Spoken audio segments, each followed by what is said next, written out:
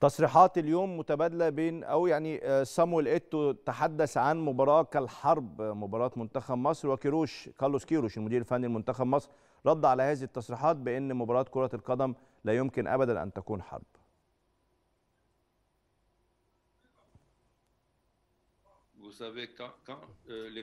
أنتم أنتم تعلمون أن هذه التعبيرات تستخدم نوعا ما مع لاعبي كرة القدم.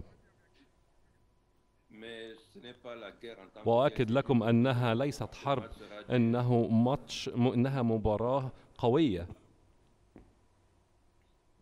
إذا الكثير من الاحترام.